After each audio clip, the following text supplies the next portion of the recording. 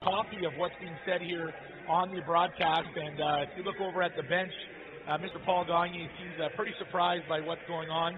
Uh, basically, Mike, they're paying respects here to uh, Paul Gagne, are they not?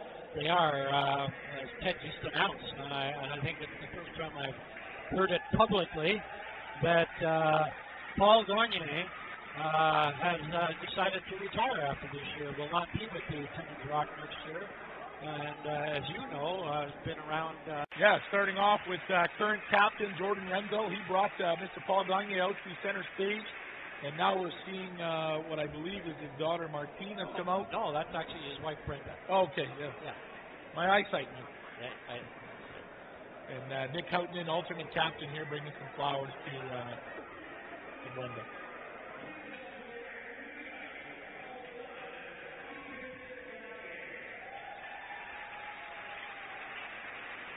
Think it was. We were thinking it was 2000. It might have been 2001, but either way, it's been a long time. Yeah.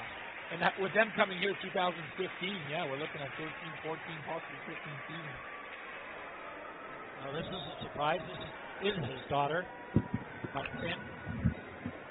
I believe he hasn't seen her in a while. She lives in, down in southern Ontario and made the trip up for her dad.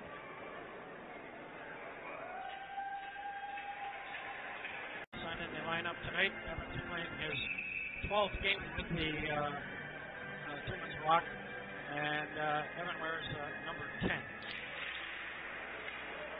Another face-off one here, Mike. And it's those face-offs that are all important. Nick Houghton with a very innocent shot. Uh, basically just trickled in off somebody. Looks like Parnell. And it made its way back in the net. Yeah, right in front of the net, and uh, puck kind of just dribbled in. That you want. I don't think it was very delayed, but uh, whatever the case may be, referee put his foot down. And away we go. McClellan sends that out. Face-off will be deep in the rock zone to the right of Rogers. Oh, we have a fight. Down in the corner, that's Captain uh, Rendell. I can't see who he's fighting against.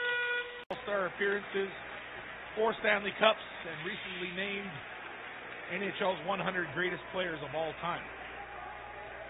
Sprague with the puck here now. Back to the game. Nice little pass for Houghton.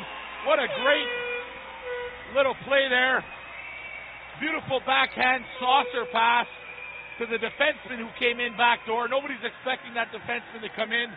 Houghton and Johnny on the spot. We got a 3 2 game. 3-2 game. Because uh, it's being hosted by uh, by Sudbury, and so the second place team gets in as well, and that would be the North Bay Trappers. Parnell to Gazik. Gazik. An innocent play there. Hard fought by the Parnell Shankar Cunningham line. Get that puck to the front. And Hawks is not completely over there with his full body. He only had the pad. Somehow that puck trickled in. Well, I think there was a little uh, made the difference in the outcome of this game.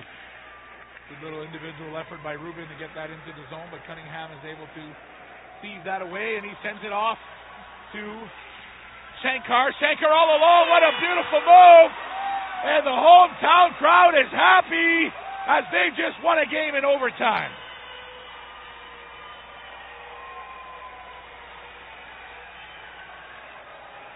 What a beautiful pass and a beautiful finish by Shankar, young 17-year-old, comes through for them and uh, scores a winning goal in overtime.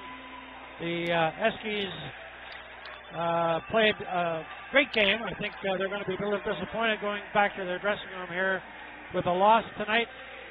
But uh, shows you a little bit of the heart that uh, that's in the uh, Timmins Rock. This uh, augurs well for playoff uh, their playoff run, which starts in a week. Uh,